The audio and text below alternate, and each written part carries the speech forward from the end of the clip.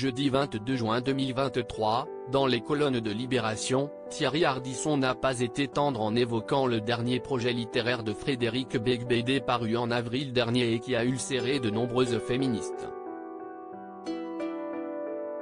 Au cours de sa longue carrière, Thierry Ardisson a eu la chance de pouvoir recueillir les confidences des plus grandes stars.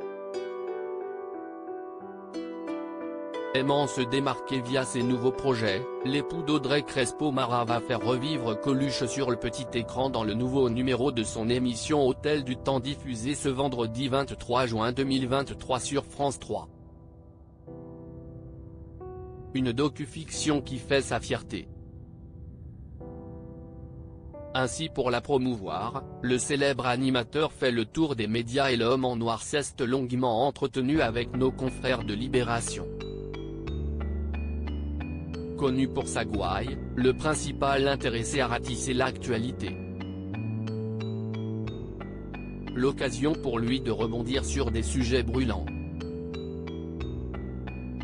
Et notamment l'évolution des mœurs au fil des décennies, qui ne l'offusque pas plus que ça. Chaque génération veut tuer la précédente, normal. Puis je comprends les mômes d'aujourd'hui, sur l'écologie, le traitement des femmes, a affirmé Thierry Ardison avant d'évoquer l'essayiste Frédéric Beigbeder, souvent attaqué pour ses sorties jugées sexistes et masculinistes. Dans son ouvrage Confession d'un hétérosexuel légèrement dépassé paru en avril dernier, l'auteur assure faire son mea culpa et décortique les moments clés de son existence. Je ne sais pas pourquoi il chouine. D'accord, faire sa victime, aujourd'hui, ça fait vendre, mais quant à la chance d'être passé entre les gouttes de hashtag métaux. A analysé Thierry Ardisson.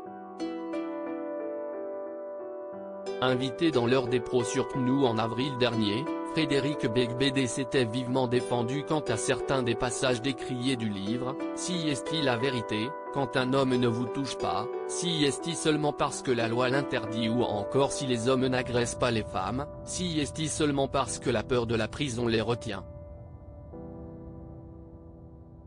Alors que des collectifs féministes l'accusaient de faire l'apologie du viol dans son œuvre littéraire, l'auteur estimait être victime d'attaques injustifiées, je découvre qu'il y a vraiment des militants violents qui veulent censurer un livre. Ils menacent. Ils injurient. Ils ne veulent pas de conversation. En pleine tourmente, l'ex-compagnon de Laura Smet était déterminé à défendre son point de vue. Je comprends désormais pourquoi personne ne s'était lancé dans l'écriture d'un livre sur les relations hommes-femmes, après hashtag métaux, avait-il sorti avec ironie dans les colonnes du Point. Avant de conclure, je ne suis pas courageux, juste inconscient.